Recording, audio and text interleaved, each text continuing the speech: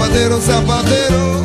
arreglame los zapatos, que no sé lo que me pasa, que no puedo caminar, deben ser los zapatos si no es debilidad,